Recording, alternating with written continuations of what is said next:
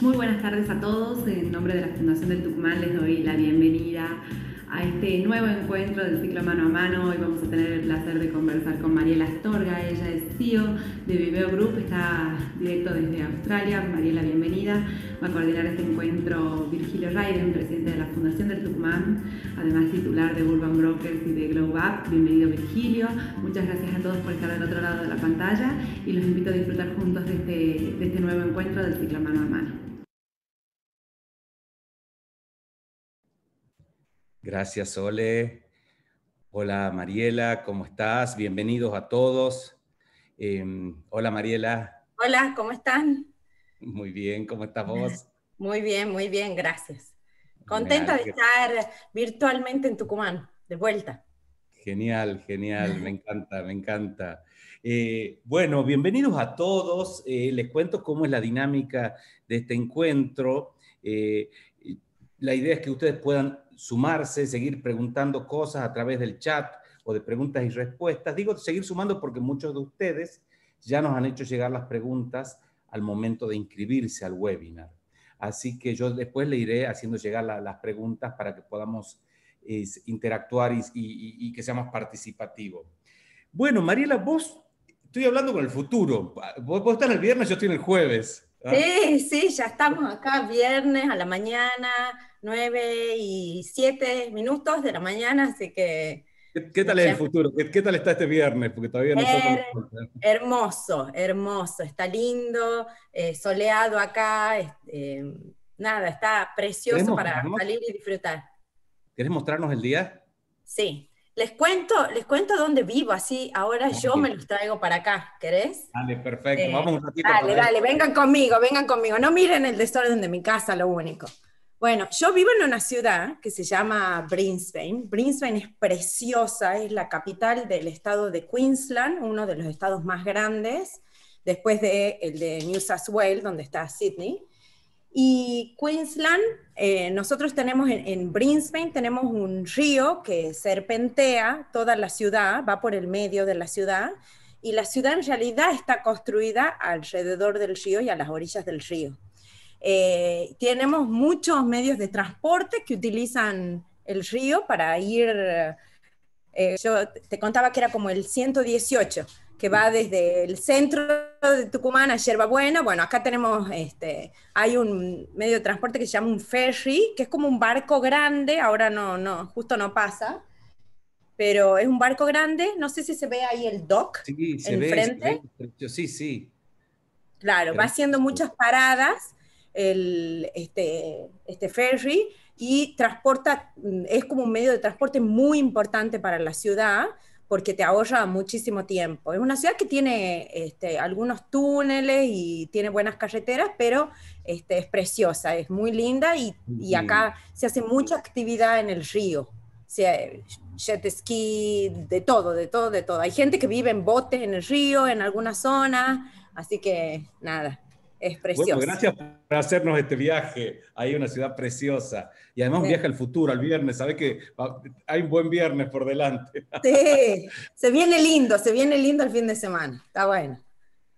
Qué bueno. Y, además me encanta, si bien estamos, estás en Australia, tu tonada este, tucumana a estrenar, ¿ah? parece impecable. Re, re, re, re tucumana. Acá me hacen decir ciertas cosas mis hijos que ya se me ríen porque no, no las pronuncio como, como debería ser en el inglés de la, de la reina, como le dicen acá, pero bueno, nada, ya son parte de, de, de lo familiar ya. Sí. Buenísimo. Para que la gente que nos está escuchando te pueda conocer más, eh, contanos de vos y contanos además qué haces en Australia. ¿Por qué estás en Australia? No qué haces, sino por qué estás en Australia ahora. Bueno, yo este, eh, comencé, eh, bueno, soy tucumana, eh, nacida y criada en Tucumán, en San Miguel, mi familia toda está allá. Em, nosotros, este, bueno... ¿Dónde es la primaria y la secundaria, perdón? Fui al colegio Guillermina, Lestón de Guzmán, con las monjitas.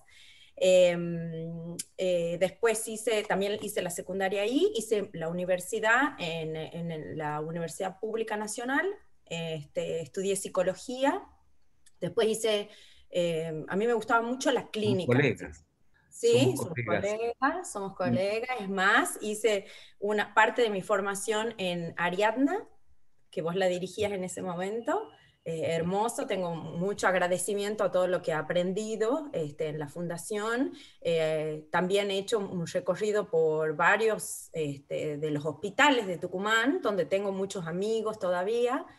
Eh, una formación clínica, a tope, psicóloga, formación clínica, pacientes. Totalmente de pura cepa. Me encantaba, me encantaba la interconsulta, trabajaba mucho con, con los médicos, trabajé en el hospital de niños, bastante, trabajé en el Hospital Padilla, este, después trabajé en, bueno, en el, en el Obarrio, hice el primer año de mi residencia y después me fui a Buenos Aires porque me gustaba la clínica pediátrica, entonces trabajé cinco años en el Hospital eh, Gutiérrez, el de niños de Buenos Aires, el público que la verdad que fue una experiencia maravillosa, a mí me volaba la cabeza ir al hospital todos los días, me encantaba, eh, la verdad que muy, muy, me gustaba mucho, trabajaba eh, mucho con pacientes que tenían enfermedades crónicas eh, y la verdad que fue muy, muy, muy intenso, de mucho aprendizaje, muy lindo. para mí fue una experiencia preciosa. Y bueno, por las cosas de la vida... Ahí, ahí, antes de que digas por las cosas de la vida, hagamos una pausa en esa parte de la historia que además yo quiero eh, mucha de la gente que está no tiene idea que yo soy psicólogo. Entonces yo también hago una referencia, porque he hecho referencia a eso, es de que, bueno, yo soy psicólogo clínico, fui psicólogo clínico también, muy formado en temas de psicoanálisis. Eh, hice mi pasantía en el hospital de niños también, así que fue una hermosa experiencia. Me, llevaba tu relato a esa época que me encantó.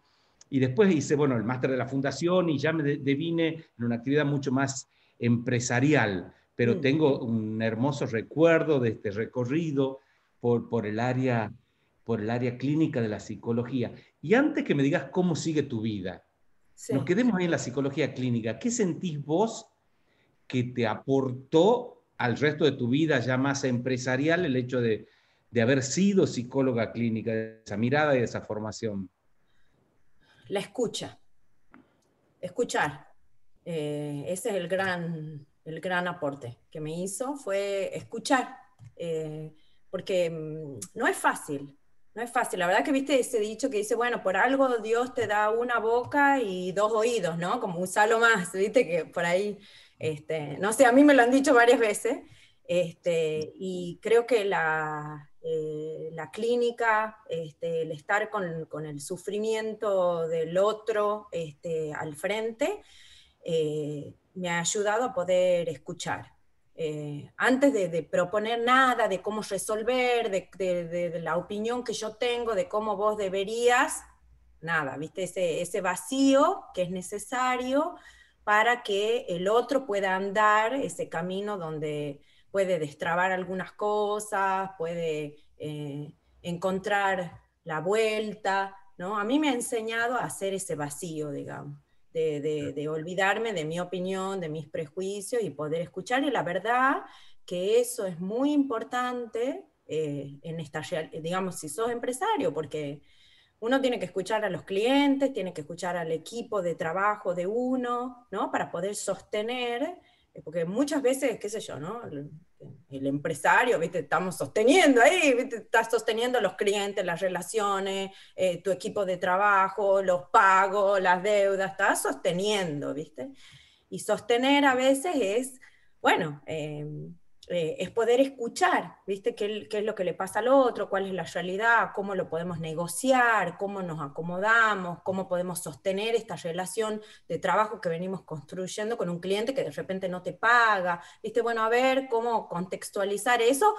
Bueno, ¿viste? Uno quiere sobrevivir, ¿no? Es, diferente este, eh, un contexto terapéutico que lo que es un contexto de negocio, pero a mí me ha ayudado a escuchar pero además es súper interesante lo que estás rescatando porque hace, a la esencia del liderazgo, a la esencia de la, de la satisfacción del cliente y hace después al ADN de tu empresa, ¿cierto? Que es escuchar al cliente, entenderlo y, a partir de ahí proponer soluciones. Pero ya, vamos a llegar un rato ahí, pero me parece que es un súper rescate de, la formación de, que nos da la psicología. Sí. Bueno, estabas en el, en el Hospital Gutiérrez, si no me acuerdo. Sí. Eh, no, recuerdo mal, y de ahí estabas por seguir con tu historia. Sí. Bueno, yo en ese momento trabajaba en el hospital muchísimo, eh, me encantaba, me encantaba, tenía mi consultorio en Buenos Aires también. Em, y, bueno, nada, una amiga me invitó de vacaciones, me fui a Río de Janeiro en, en ómnibus, que este, tengo amigos de ese viaje todavía, porque fue como, no sé, 30 horas de viaje, no me acuerdo cuántas, porque se nos rompió el ómnibus, un quilombo. Y este, nada, bueno, ahí conocí a mi marido en las vacaciones, es australiano, Chris.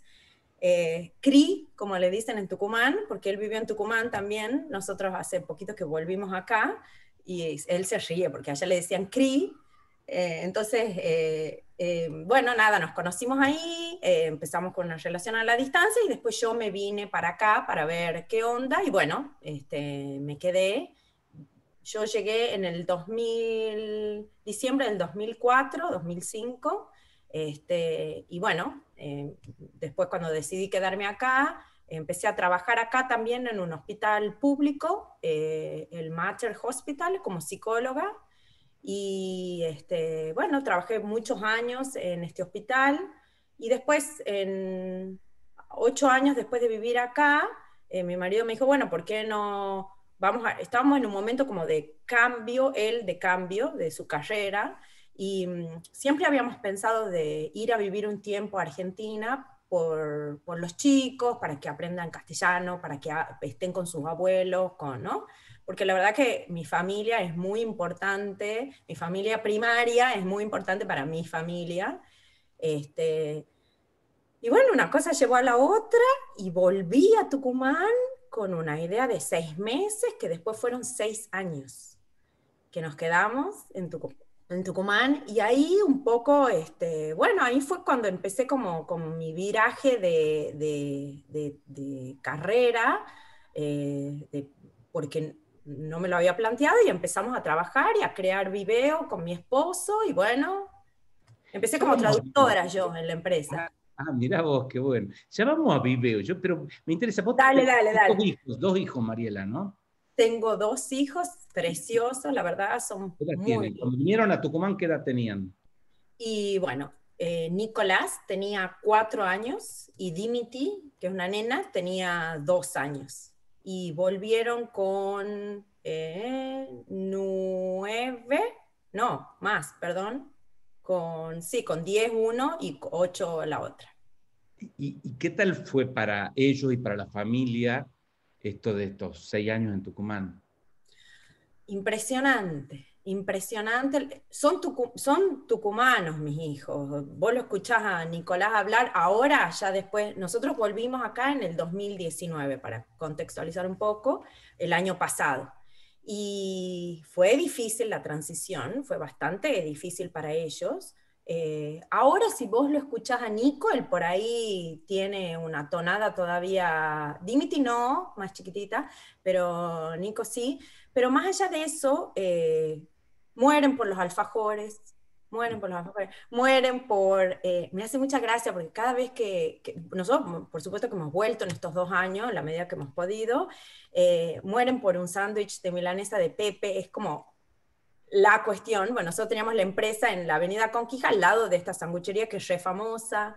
Eh, Nico se conecta con sus amigos del... Él iba al colegio Pucará, se conecta con sus amigos del Pucará mm, sabe todas las bromas, sabe todo lo que está pasando allá, este, tiene como una fluidez con, con sus relaciones grandes, Dimitri en menor medida, pero también eh, los abuelos son los abuelos de Argentina para ellos, porque este, si bien tienen abuelos acá, como la niñez, mucha, mm, todos estos años de la niñez la han pasado allá, viste, la abuela es la, abuela de Argentina y para mí eso es un regalazo que, yo he podido hacerles a ellos, ¿no? Porque Sí, lo tienen muy adentro. interesante porque tienen dos, dos, dos, dos, patrias, dos este, lugares de los cuales se van a sentir parte y está buenísimo. Pero eso lo, hace, le, da una riqueza a su vida que está genial.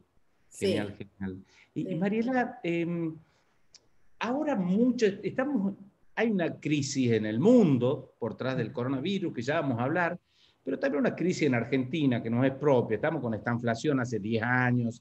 Entonces, y está sucediendo en este tiempo de que muchos jóvenes están pensando que se están yendo o están queriendo irse a vivir afuera. Vos tenés la experiencia de vivir afuera, de vivir acá. Eh, ¿Qué reflexión te produce esto? ¿Tenés algo para comentar o para, para decir? Porque creo que es un momento esto de, vivir afuera o de vivir acá, cada, cada cosa tiene sus pros y sus contras, y muchos jóvenes están tomando una decisión súper importante en la vida, este, muy comprensible también. Y bueno, ¿qué opinas vos de eso? ¿Qué tenés para decir? Mm. Sí, eh, eh, siento que, viste, muchas personas este, están sintiendo como que el barco se hunde, viste, esa es la sensación, la tengo presente, porque bueno, nosotros, bueno, yo tengo mi familia, todos mis amigos de toda la vida, pero aparte nosotros tenemos nuestro equipo de trabajo allá, entonces todos los días, hoy ha sido la excepción para mí para poder estar acá con ustedes, pero nosotros todos los días, a las 9 de la mañana de acá, nos reunimos virtualmente con todo el equipo de acá y el equipo de Argentina y trabajamos media hora sobre lo que se va a hacer. Entonces, bueno, conocemos quién se ha enfermado, que el padre de no sé quién, que el problema, que esto, que este otro. Eh, y sí, eh, eh, digamos, estamos como, bueno, el corazón está ahí. es difícil, es difícil. Las crisis creo que siempre, y como vos decís, el coronavirus, viste, por ahí es la gota que colmó el vaso para mucha gente, en el sentido que había muchas cosas que ya no venían bien en Argentina, ¿no? Como vos mencionabas, lo de la inflación principalmente, entre otras cosas tal vez. Eh, qué sé yo, la experiencia de cada uno eh, es muy particular. Yo, yo lo que creo es que las crisis o te sacan lo mejor o te sacan lo peor. Eso es lo que, eso es lo que me parece a mí, ¿no? Eh, más allá de la decisión de si vos te vas, porque si vos te vas, es feo pensar, me voy a la mierda. Perdón, ¿no? Voy a hacer así como... Sí, sí, porque, no, está bien, perfecto. Porque, a ver, porque es distinto decir, bueno, yo creo que hay que pensar la decisión eh, desde dónde uno la hace ¿sí? Porque una cosa es decir, bueno, a ver, yo estoy acá, es donde he nacido, eh, he agotado algunos recursos, quiero buscar una oportunidad afuera porque me parece que tal vez este, puede ser. A es diferente esa salida de un lugar materno, como es la patria, a me voy a la mierda, porque ya no doy más, ¿no? Porque si salís así, y bueno, tal vez te cueste también más este, a dónde empezás. Yo creo que a veces, como en el ajedrez, los opening y los closing, las aberturas y los cierres son muy importantes. Entonces, si uno toma una decisión, creo que la tiene que pensar para que, para que, para que sea una decisión que a uno lo ayude a sostener el deseo de uno ¿no? Y no sea una decisión contra o reaccionaria a otra cosa, ¿no? Porque acá la vida es sostener el deseo de uno. Después el lugar, y sí, qué sé yo, a mí me duele, viste, no estar en Argentina, me cuesta, que yo, pero bueno, viste, mi deseo me ha llevado a apostar por donde estoy ahora. Eh, en mi caso no ha sido, yo he decidido venir a vivir a Australia porque me parecía divino el país, porque no estaba bien en Argentina. No ha sido ese mi caso, para nada. Yo estaba bien en Argentina, estaba contenta. Pero ha sido el eh, amor, si ha sido el amor. Sido el amor, claro. Me he enamorado. Como me decía mi mamá, mi mamá me decía, ¿no te podías haber buscado uno más cerca? ¿Por qué no te buscó uno más cerca? Y bueno, viste, uno no elige ciertas cosas. Tampoco uno elige de dónde nace, ¿viste? Pero entonces lo que uno sí puede elegir es lo que uno sostiene, qué es lo que uno quiere, a qué es lo que uno apuesta. Por eso, más que si me quedo o me voy, yo creo que es como desde dónde estoy pensando esa decisión. ¿No? Me encantó, me encantó, me ha parecido muy atinado y muy sabio lo que estás diciendo. desde dónde, ¿no? Desde el enojo, desde el portazo, desde el me voy a la mierda, sino desde un proyecto, desde algo positivo que uno esté buscando. Me parece genial. Ahora sí, yo te había interrumpido porque estaba llegando a Viveo, ¿ah? este que surgió en Tucumán, que nació en Tucumán en esos años. Contanos de la empresa. Bueno, yo empecé como traductora en la empresa, un lugar chiquitito, porque este, mi marido se aburrió rápidamente porque él estaba trabajando como a distancia, qué sé yo, y me dijo, mira, acá, ¿no? Y eso lo dice CRI. Em, acá la gente le pone mucho, le pone mucho las pilas, como dicen ustedes, a las cosas, veamos de hacer algo diferente. Y lo que, lo que a él le parecía era que podíamos brindar una solución para gente que tenía ideas, pero que le faltaba el diseñador, le faltaba el que le haga la conexión con la parte electrónica. Le Bueno, entonces empezamos con un proyecto, después la demanda fue creciendo más en relación a sistemas informáticos, a diseñar sistemas que a la gente le ayude a organizar sus negocios, que le ayude a, eh, a Viste, para mí los sistemas son como la memoria de la empresa. Una empresa que no tiene un sistema, ¿no? Es como que tiene Alzheimer, ¿no? Pues digo, en el sentido que, te olvidas, viene un recurso nuevo y tenés que empezar a enseñarle todo de vuelta, qué sé yo. Los sistemas es como que eh, todas las empresas tienen, más allá de que sean informáticos o no, una metodología, un sistema, una forma de hacer las cosas. Entonces, bueno, nosotros empezamos a trabajar con ciertos clientes que querían como organizar cómo hacer ciertas cosas, cómo vender ciertos productos, cómo publicitar mejor lo que ellos tenían para ofrecer, ¿no? Eh, cómo organizar este, las formas de, producción que tenían. Y bueno, empezamos así con un par de clientes, algunos de Argentina, otros de, otros de acá de Australia, y bueno, mm, nada, fuimos creciendo, fuimos desarrollando nuestros propios sistemas, nos equivocamos un montón de veces, em, tuvimos algunas dificultades con algunos clientes, como las tiene cualquiera, creo, viste, atrasos en los pagos que no te pagaban, que bueno, qué sé yo, esas cosas que ocurren.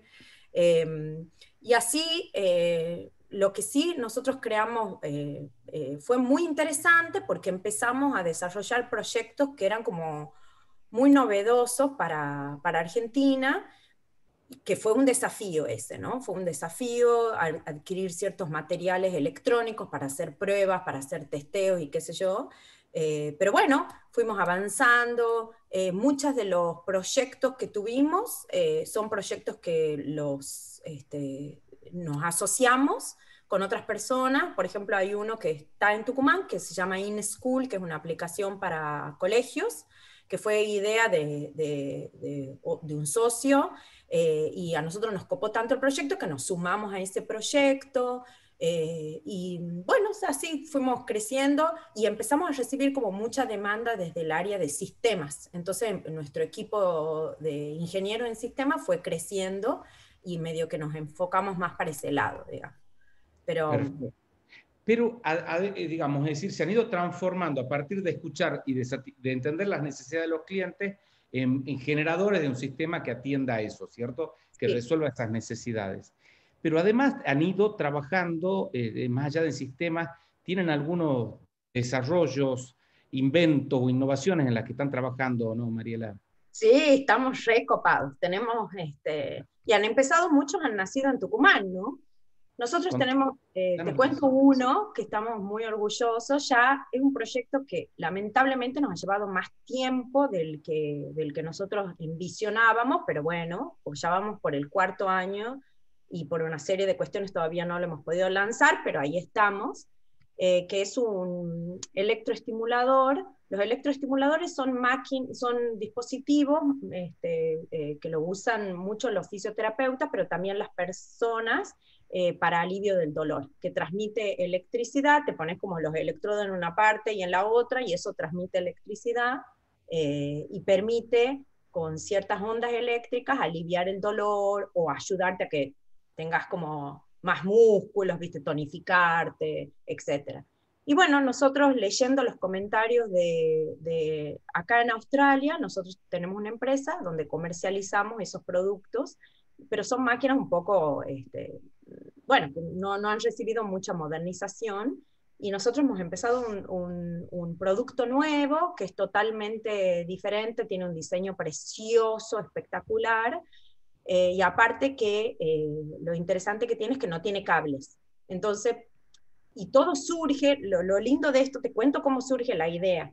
Estábamos leyendo los comentarios de los clientes que nos decían, ay, sí, me encanta la máquina, es divina, qué sé yo, pero odio los cables me encanta, qué sé yo, pero me siento robotech porque con los cables no sé qué, ¿no? Entonces empezamos a decir, bueno, pero si el problema, si el problema del usuario es el cable, veamos de cómo podemos darle una vuelta a eso, porque tiene que ver más con el diseño, que no es bueno, que con la funcionalidad, a esta gente le sirve esto, ¿cómo hacemos? Y bueno, empezamos a diseñar este dispositivo que es eh, inalámbrico y que se maneja todo desde el celular, porque empezamos a ver, no necesitamos Ahora se usan como con un control remoto. Si sacamos esa pieza, lo podemos usar con el celular, con una aplicación, y bueno, nada, estamos en eso, empezamos en Tucumán este, a hacer el diseño, eh, teníamos diseñadores industriales en ese momento que estaban trabajando con nosotros, eh, también ingenieros electrónicos que estaban trabajando con, con nosotros, y con ellos, bueno, eh, con el equipo de IT empezamos a crear la aplicación, empezamos a, a diseñar, empezamos a ir por el lento y sinuoso y difícil camino de las acreditaciones para productos este, de, este, de, este, tipo, porque son dispositivos este, casi médicos, digamos, ¿no? Pero bueno, ahí estamos, vamos avanzando, seguimos, así que bueno, ese es uno de, los inventos que tenemos. Me encanta esa, esa, esa innovación, ese invento, tal cual que surge producto de una innovación y esa innovación que surge producto de escuchar al cliente, una vez más, es decir, eh, eso abre el camino, de, uno, de los caminos que, que nos permite innovar es escuchar los pain de los clientes, es decir, los, dolores, qué le molesta, qué es el problema, y pensar, eh, think outside the box, ¿cierto? Pensar fuera de la caja, qué, es lo, qué soluciones les podemos dar, y a partir de ahí surgen muchas de las innovaciones. Nosotros en, en la Fundación del Tucumán, la innovación es súper importante para nosotros, es uno de los ejes estratégicos que estamos trabajando porque queremos poner a Tucumán competitivo en el futuro. Entendemos que no podemos ser competitivos en el futuro si no empezamos a pensar eh, en este mundo disruptivo, en este mundo exponencial, eh, con una mente más innovadora. Así que estamos trabajando muy fuerte en ese tema. Hemos hecho viajes así con Bala y a Nueva York de innovación porque, porque nos interesa mucho. ¿Qué, qué pensás vos? ¿Qué, ¿Qué podemos decir para para todos, acá se abren dos temas que quiero que charlemos, Mariela. Uno es el tema de la innovación y la metodología y qué podés comentar de la innovación. Y el otro es el tema de las startups, ¿ah? que es decir, esto de traducir una idea en una empresa, en un negocio. Eh, son, que es, es un abismo, es un salto, ¿cierto? Entre la idea. Eh, nosotros somos muchas veces, en Tucumán creo que somos creativos, tenemos la idea germinal de algo que pueda eh, funcionar, pero a veces no tenemos el ecosistema innovador que nos permita ser emprendedores o creadores de startup. Y ahí, nos interesa mucho acompañar y crear y ayudar a la creación del ecosistema este de, innovación desde la fundación. Mm.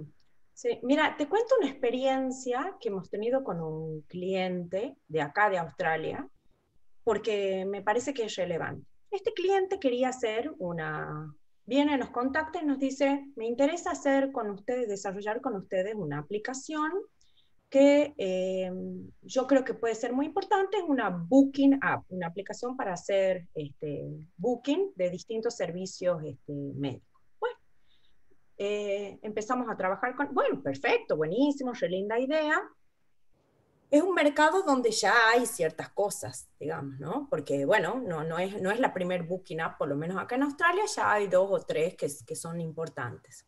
Eh, y el mercado este, en, el sector médico también hay muchas aplicaciones de salud, de, ¿no? Hay bastante. Bueno, empezamos a trabajar y qué sé yo. Y lo que empezamos a ver, esto que vos traías de eh, el ecosistema, eh, te lo cambio un poquito, digamos, pero es importante, creo, escuchar al cliente y siempre ver qué es lo que pasa alrededor mío, qué es lo que pasa en este mercado, que yo quiero traer la innovación, qué están haciendo los otros, ¿no? Porque por ahí muchas veces uno ve al otro como una competencia, pero uno puede, que es una competencia, pero uno puede aprender un montón de eso, ¿no? Entonces nosotros empezamos a ver que, bueno, ya había, entonces, ¿cómo creamos el diferencial en relación a esto? Em, y lo que empezamos a ver es que está el ecosistema de las aplicaciones para hacer booking en el sector de salud estaba un poco congestionado, entonces, ¿cómo íbamos a hacer nosotros? Y había muchos otros sistemas que ya agarran data de, de, salud, ¿no? qué sé yo, acá, por ejemplo, las clínicas de médicos tienen su propio, que le dicen Practice Management System, y tienen toda la data, después los hospitales tienen. Entonces, ¿cómo hacemos para agarrar esa data. Entonces lo que nosotros pensamos es, en vez de ser la aplicación nueva, que es diferente, que tiene que hacer todo, vamos a crear algo muy light, muy liviano, pero que se inserta y lo que hace es tomar data de los otros sistemas, ¿entendés? Y agrega valor eh, a través de linkear el paciente con el, con, el, con el médico o el fisioterapeuta. Y bueno, empezamos a trabajar así y eso, digamos, cuando empezamos en ese... Em, al cliente le costó porque él estaba como muy enamorado de su idea y él quería, viste, que esta aplicación haga todo y nosotros le decíamos, pero todo te va a salir carísimo, no vamos a terminar más, viste, vamos a terminar en 30 años. Empecemos con algo chiquitito y algo que sea, que agregue valor. Y el producto mínimo viable. ¿Cómo? El producto mínimo viable para que esto empiece a, recorrer y no el megaproducto que es difícil de crear. Claro, pero que es un concepto muy bueno del emprendedurismo, más allá que se usa mucho en sistemas. Está buenísimo eso del producto mínimo viable, porque es como decir, bueno, a ver, empiezo chiquitito. Esto es lo que, porque ¿sabes qué?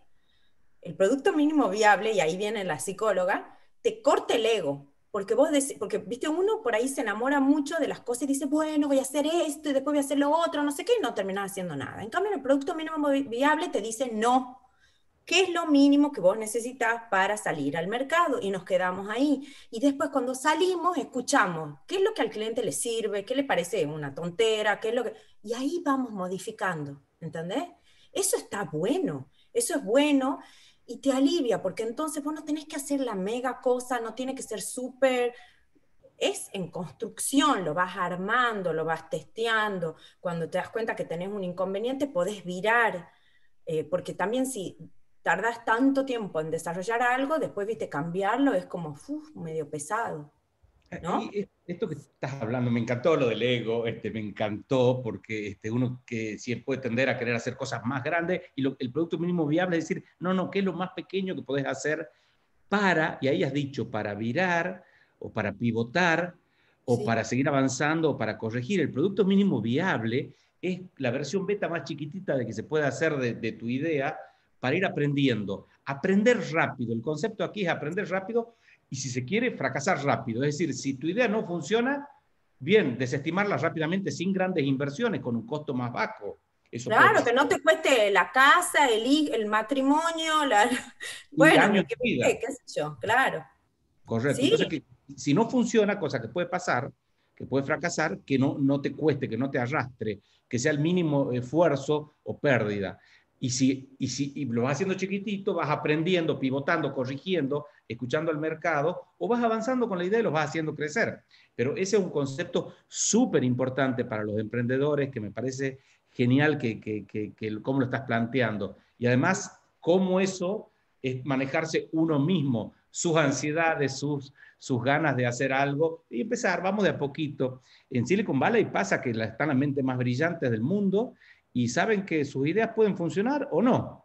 No es que porque son brillantes y están en Silicon Valley, saben todo lo contrario, que el 95% de las ideas es probable que no funcionen. Entonces trata de fracasar rápido, entre comillas, o aprender rápido, que son dos maneras distintas de, de plantear la metodología, ¿no?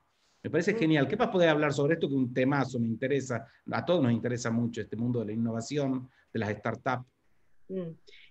Yo creo que después, eh, eh, en esto de, descubrir, digamos, eh, es, en el trabajo de la idea donde uno puede ir este, mm, dándole forma, me parece, ¿no? Porque a veces uno viene con una idea, bueno, mira, yo quiero hacer, por ejemplo, ¿no? Lo que yo conozco, esta app y quiero que sea así, qué sé yo, y vos decís, bueno, pero a ver, ¿cómo hacemos para comercializar esto? ¿Cómo hace? Porque si le agrega valor al otro, sirve. Si no le agrega valor al otro, aunque sea divina y vos creas que es una idea excelente, no funciona.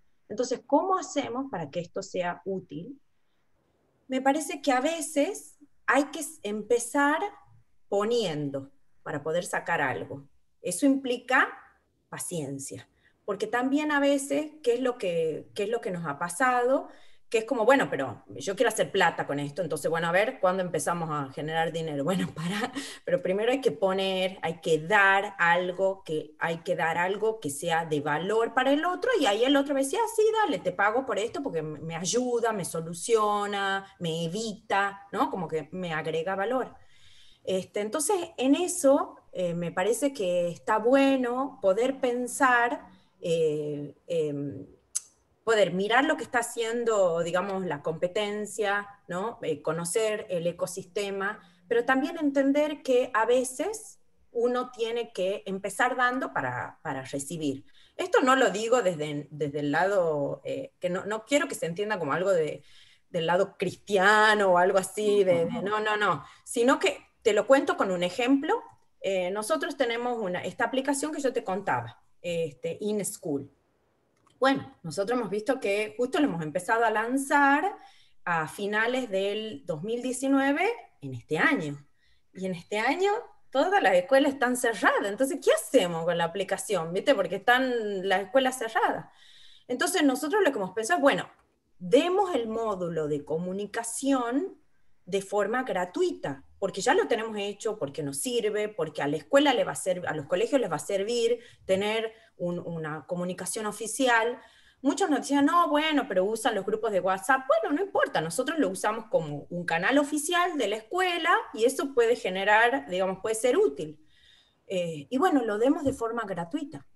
¿Viste? Hagamos la apuesta, lo demos de forma gratuita por un tiempo y vemos qué pasa. Y bueno, en la crisis esta del 2020, con todas las escuelas cerradas, tenemos 8.000 estudiantes, que tenemos eh, eh, escuelas que, y colegios que la están usando a la aplicación.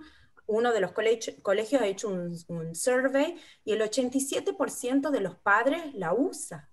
Entonces vos decís, bueno, qué sé yo, bueno, todavía es gratuita, ¿viste? O sea que la pueden usar si quieren. Es gratuita, pero bueno, es sostener eso para apostar, para generar valor, para que el otro vea que, le gusta, que vos, que vos tenés algo para darle, y ahí después, bueno, obviamente que no va a ser gratuita siempre, será gratuito ese módulo y el otro no, ¿no? Pero bueno, porque a veces hay que tener como paciencia para ver las ganancias, eso también es importante, ¿no? Muy eh, importante lo que, estás, lo que estás planteando. Estás planteando dos cosas. Y déjame, permitirme que yo recapitule, porque me parece tan importante los temas que estás planteando que los quiero recapitular. Uno es dar, invertir, eh, dar valor, eh, dar y no necesaria, porque un producto nuevo, una startup, una empresa, un cualquier negocio, tiene que estar fundamentado en el otro, en el cliente. Yo tengo que hacer algo para cambiar la vida del cliente. Si está fundamentado en que yo quiero ganar plata, y es probable que me olvide del cliente y no gane plata finalmente. Entonces, es decir, el sentido de ser de las empresas son sus clientes, no sus dueños. Sus dueños es el, el motor que finalmente tiene que tener sus réditos, ¿cierto? Sin ninguna duda. Pero, eh, y para dar, para innovar, eh, has planteado claramente el tema de dar valor. Innovación es innovalor, es decir, es un nuevo valor que yo le tengo que dar conociendo cuáles son los valores que tiene el cliente, la competencia, la otra oferta, y cuál es mi valor diferencial, en qué hago la vida de nuestros clientes mejor, más simple. Así que ese es sin duda el, eje central de la innovación tal cual lo estás planteando, me encanta. Me encanta. En este mundo, Mariela, hablemos un poquito del mundo de la innovación, este que estamos hablando, y de las startups, este mundo exponencial, este mundo acelerado, este mundo digital, eh, ¿cómo, ves el, ¿cómo ves el futuro? ¿Hacia dónde va el mundo? ¿Y qué desafíos crees que plantea esta dinámica que mm. sin duda existe? Sin duda resistirse a eso es como querer parar el viento con la mano. em, para, para, las empresas y para las personas? Mm. Em, va rápido, va muy rápido, Che. Entonces, entonces eh, cuando, viste, como va tan rápido, mejor uno tiene que viajar livianito, creo yo. En el sentido de, em, de ser flexible, de acomodarse, de ir buscándole la vuelta, de entender qué es la prioridad para uno y tratar de sostenerla. Y después lo otro, bueno, ¿viste? se va viendo cómo, cómo hacemos. Creo que el coronavirus nos ha planteado a todos eso. Nosotros teníamos una, una oficina eh, donde, bueno, trabajaban los chicos acá en Australia y en Argentina, pero en el, equipo más grande en ese momento eh, que teníamos era en Argentina, a comienzos de este año. Y bueno, viste, tuvimos que cerrarla porque eh, en realidad, bueno, los chicos, cada uno se quedó trabajando en su... ¿Cuál era la prioridad ahí? Cuidarlo para que no se enfermen, porque son, es tu gente. Entonces, bueno, no importa la oficina. Sí nos preocupaba en su momento cómo será la... ¿Podrán trabajar igual?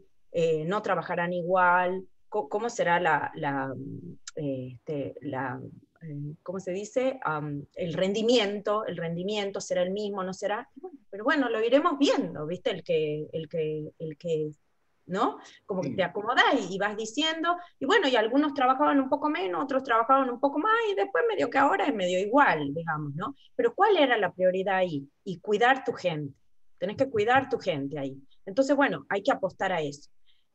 Yo sí creo, sí veo a futuro que eh, esta es una tendencia que vino para quedarse. Creo que el trabajo remoto va a ser algo que, y, las interacciones online se han acrecentado mucho y va a ser algo que este, se potenció. Hay un, hay un análisis hecho, no me acuerdo por quién, pero eh, creo, que es una, creo que en Harvard University que dice que para el 2000, eh, en los próximos cinco años se esperan más de 20 billones de metros cuadrados a nivel mundial que se van a cerrar, o sea, oficinas que dejarán de existir.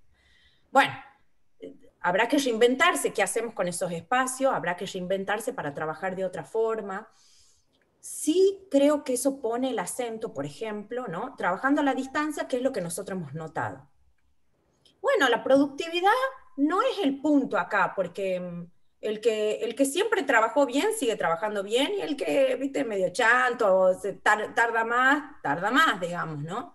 Pero el punto ha sido, no, no ha sido ese, digamos. El punto en realidad ha sido eh, cómo hacemos para sostener la cultura que tenemos como empresa. Ese ha sido el punto para nosotros, ¿entendés? Porque bueno, estamos ahora, porque no tenés el espacio del cafecito con el otro, de bueno, nosotros por ejemplo en, en Viveo eh, almorzábamos juntos dos veces por semana. La empresa pagaba el almuerzo, eh, sándwich de Pepe o lo que sea para todos y nos sentábamos y almorzábamos juntos. Y eso era importante, muy importante para nosotros bueno, ahora no lo tenés, no tenés tampoco el que me voy a hacer un café y ahí charlo, che, porque yo estoy en esto y me complica esta parte, no sé cómo hacer con esta database y Amazon no me, lo que sea, ¿viste? Las frustraciones, ahora se están trabajando un poco más, se trabaja un poco más solo, digamos, en tu casa, es difícil por ahí, ¿no? Pero entonces, ¿cómo hacemos para que no se pierda la,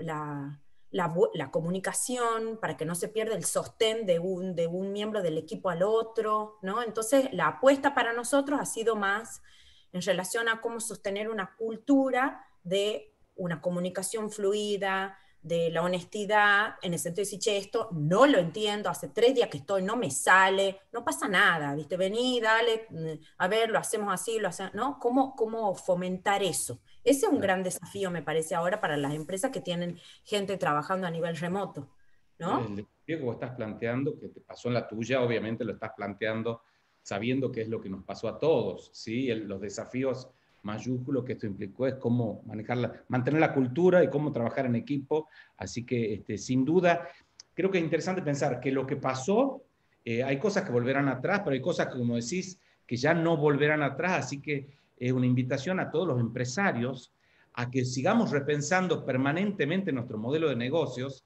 para poder hacerlo perdurable, porque el futuro, tal cual este, lo dijiste al comienzo, viene muy rápido.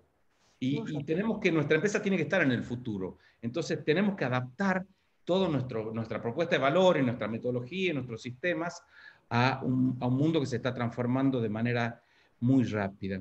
Marela, tenemos algunas preguntas que te quiero hacer, que tienen que ver con el COVID, esto que ya de alguna manera eh, lo estábamos hablando. Uno es de Pablo Mora, que dice, eh, ¿cómo se hace para ser empresario en la Argentina y no morir en el intento? Esa en realidad no es una pregunta que tenga que ver con el COVID, sino con la Argentina, que es una, una pregunta que, que, vos tenés. Pero también eh, Bea Miranda dice, ¿cómo salir en tiempo tan particular por causa del COVID y por la situación económica del país? Es decir, uno pone el COVID y otro no, pero los dos están hablando de, de una crisis y cómo ser empresario en estos momentos o en la Argentina y en el mundo también, porque no solo la Argentina está en crisis.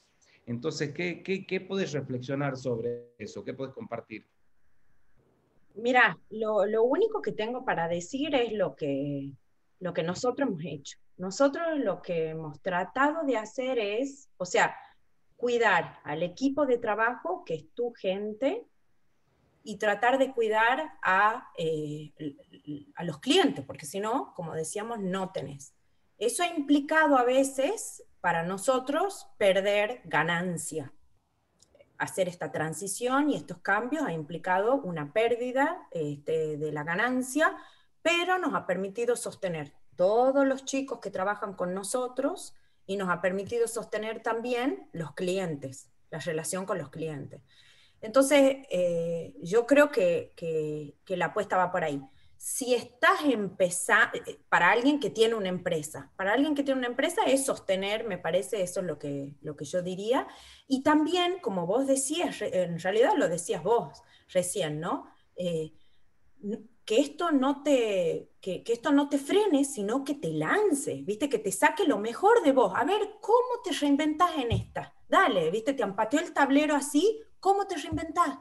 Agarrarlo como un desafío, tomarlo como la posibilidad de arremangarte y entrar a limpiar las cosas que no sirven, alivianarte de cosas que te, que te generan gastos y que no son necesarias. ¿Qué es lo necesario acá? Entonces, saquemos lo otro. ¿Por qué seguías sosteniendo eso? No importa, lo pienso después. Ahora lo saco, ¿viste? Porque nada. Entonces, aliviana, viaja alivianito, porque si tenés que ir rápido, anda juntos pero viajar livianito. Entonces, si esto no me sirve, lo corto. Si no puedo sostener lo otro, bueno, ¿viste? Pero sostener lo que es importante, tu equipo de trabajo, tus clientes, por ahí un proyecto en particular y bueno, otro será, dejará caer. Toma decisiones, pero aceptando el desafío, no, no vencido antes de, esto, ¿no? Em, yo creo que en Argentina y eso, viste, lo dice este, todo el mundo, ¿no? Si hace negocio en Argentina, puede hacer negocio en cualquier lado, en el sentido que, bueno, sí es desafiante Argentina, es muy desafiante.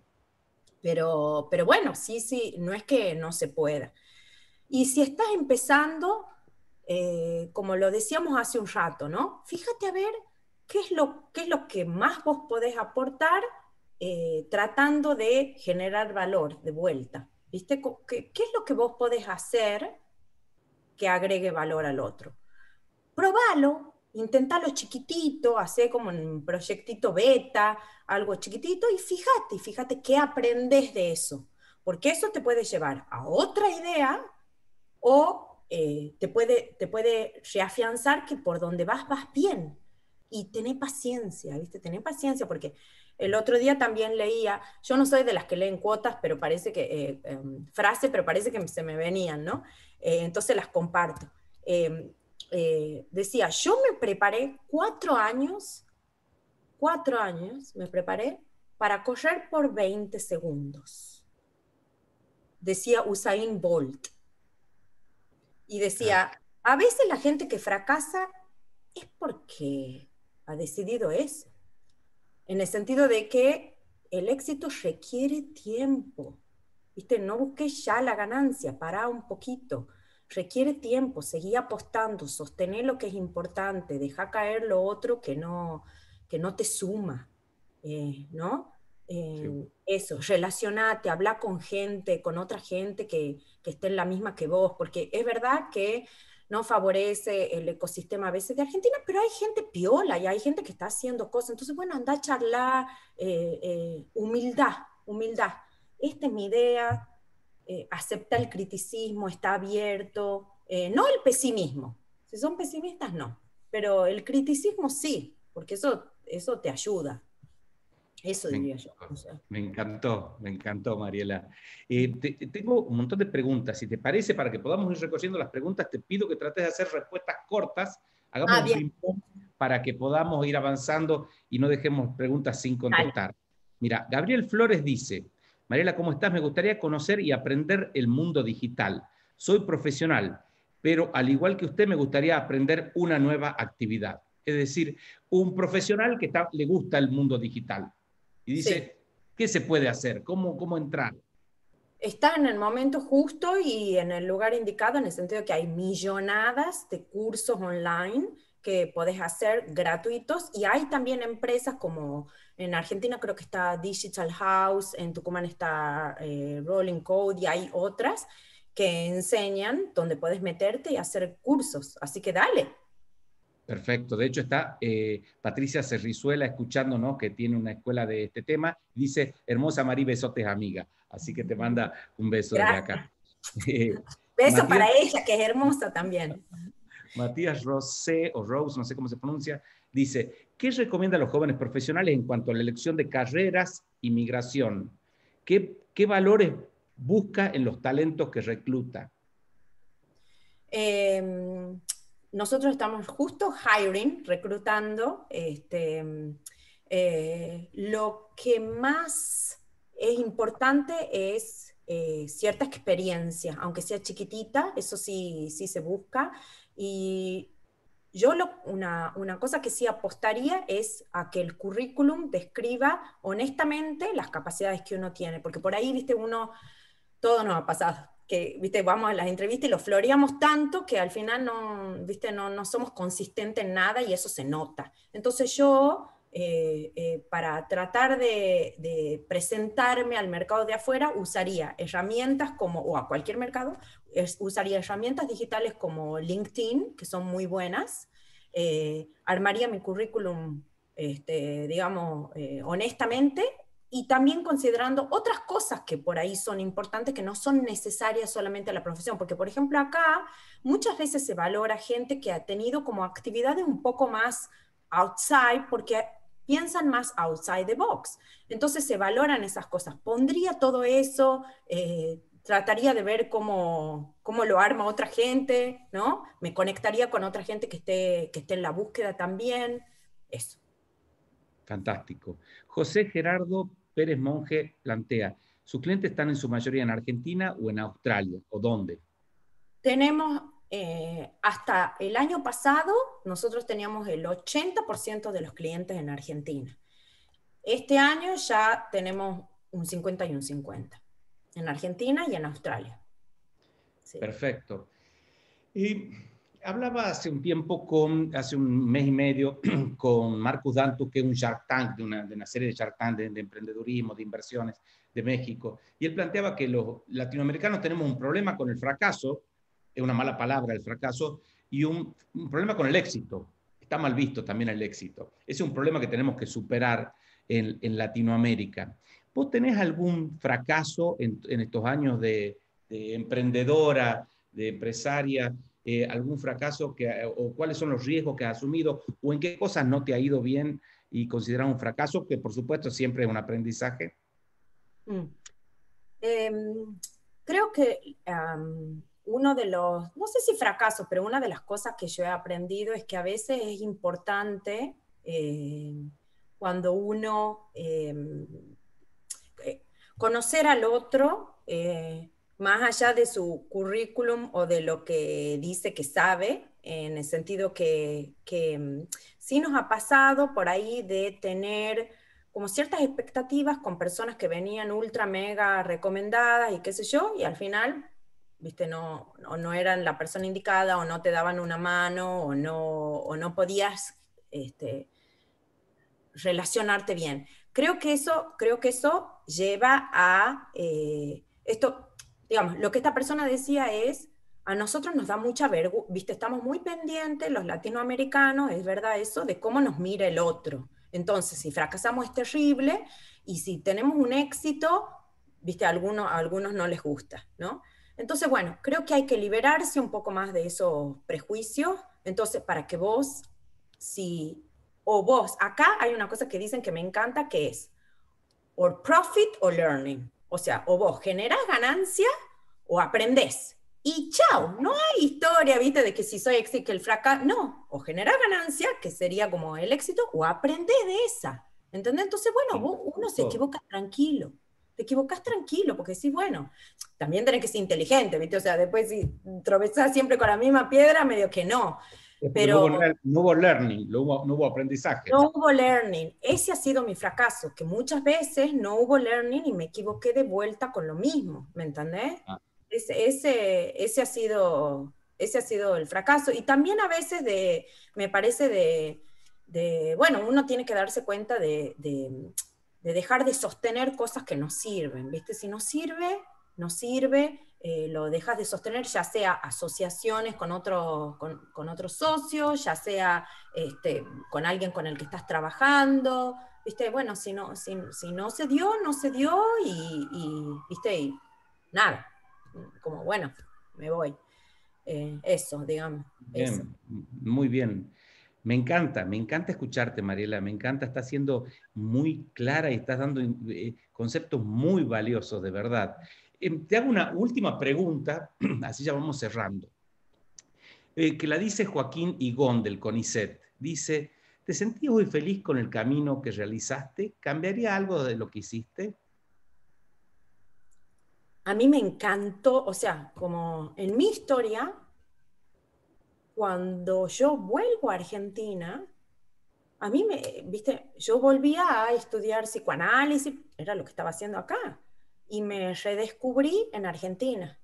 No cambiaría para nada eso, estos seis, los seis años que he vivido allá, por muchas otras razones, como hemos hablado, ¿no? Familiar, pero en lo personal, eh, no, no. Eh, Hubiese comido más dulce de leche, creo, con menos culpa, eso sí, pero, pero no, creo que hasta, em, hasta las dificultades eh, que, hemos tenido, porque sí, sí ha habido varios momentos donde ha sido bastante difícil, eh, bueno, hemos tratado de aprender de eso, entonces eh, es válido, es válido, los tropezones son válidos porque, porque lo estás intentando. Entonces, estoy, estoy contenta. menos cabeza dura, creo que a, veces eso sería lo único que, cambiaría, menos cabeza dura y poder, este, poder siempre escuchar más, ¿viste? Escuchar más. Sí, sí. Una, cosa, una cosa que me parece importante ahí, solo que lo voy a decir, es... Em, está muy bueno eh, yo antes siempre había trabajado en hospitales, qué sé yo, como eh, eh, contratada, ¿no? Y después cambiar a una posición de liderazgo, ¿sí? de ser dueña de una empresa, a mí me ha generado eh, que se me abra la cabeza en relación a muchos prejuicios que existen de un lado y del otro, ¿no? prejuicios en relación a el dueño de la empresa, es el malvado, ¿viste? Y los empleados somos las víctimas. O, eh, ¿viste? Estos empleados que no laburan y me quieren joder a mí, ¿viste? Y yo que les tengo que pagar, ¿no?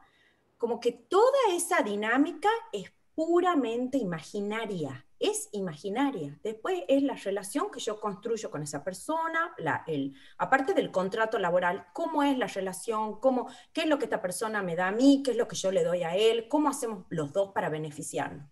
Y lo que yo he aprendido es que no hay mejor negocio donde uno busca que yo gane y que el otro gane. Ese es el negocio, cuando yo gano y el otro gano, porque, porque si vos ganas un montón y el otro no, vos crees que has ganado, pero después no, eso no se sostiene. Entonces, eso a mí me parece como que ha sido mi gran aprendizaje, sacarme los prejuicios de este acá y el otro acá, nada, ¿viste? ¿Qué sé yo? La vida cambia y cambia de lugar y hoy estoy acá y en el otro momento estoy allá, entonces lo que tengo que hacer es crear relaciones honestas, este, donde haya una ida y una vuelta. Eso. Excelente, Ese ha sido mi gran aprendizaje, sí. Buenísimo, me encantó. Mariela, mira, te leo algunos mensajes. Patricia Ladeto dice, bravo Mariel, excelente, gracias por tu generosidad de dar toda tu experiencia. Néstor Ibarra dice, muy interesante trayectoria, experiencia en la crisis, visión de valores agregados. Otra persona que no está logueada dice, buenas noches, qué interesante escuchar a Mariela, cómo fueron manejando el crecimiento de su empresa. Eh, a ver, creo que fue una excelente mano a mano, un encuentro buenísimo. Yo lo he disfrutado un montón creo que has dicho, son estos encuentros que son para volver a escuchar, eh, para, para, tomar nota, porque creo que has dado un montón de conceptos desde la práctica, con mucha, con mucha simpleza, pero que son conceptos muy valiosos tanto para el empresario como para el emprendedor, eh, con muchísima claridad. Así que eh, creo que todos hemos aprendido un montón y con mucha frescura. Tu, tu humanidad desde Australia tiene un encanto especial. Total, total. Así que yo estoy encantado con este encuentro, Mariela. Te quiero pedir que des un mensaje final a todos los que nos han estado acompañando y escuchando antes de que cerremos el, encuentro. Eh, bueno, antes de dar el mensaje final, eh, quiero agradecerte porque la verdad que para mí ha sido una hermosa sorpresa participar. Eh, con vos la cosa se hace muy fácil. Es como que la verdad que tenés la capacidad de, de sacarlo lo mejor de cada uno en este mano a mano. Eh, así que gracias, gracias porque... Mi training de psicólogo también. Sí, sí, debe ser, debe ser, debe ser. Eh, no, gracias porque, viste, es una ida y vuelta. Yo, yo de este encuentro me llevo un montón, porque también me he estado escuchando, entonces es como que, viste, ¿no? Uno va pensando ciertas cosas. Y mm, eh, como, como final, eh, yo creo que lo que diría sería, a ver, para ser bien multicultural, vamos, A, vamos a ser bien multicultural, voy a agarrar eh, la frase de Diego Torres, esa que dice eh, de la canción Saber que se puede, querer que se pueda. Bueno, hay una frase, es linda la canción, Diego Torres canchero, bonito, pero hay una frase que me gusta que dice, tentar al futuro con el corazón. ¿Sí? Esa es la pasión latina, eso lo tenemos. Entonces, si a eso le combinamos esto otro que decíamos hace un rato de profit or learning, yo creo que ese es el éxito. Ese es el éxito para, para el emprendedurismo, para la vida misma de uno.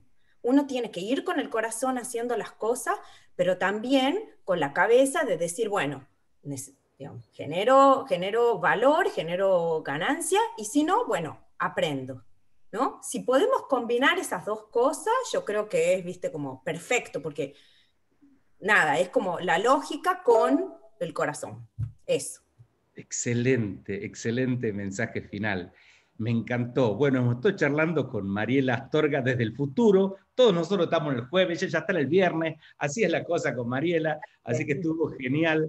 Yo quiero aprovechar para invitarlos a todos, porque el martes que viene vamos a tener un mano a mano con Diego Sáez Gil desde Silicon Valley, un emprendedor serial también vinculado al mundo de la innovación. Así que creo que va a ser un súper mano a mano.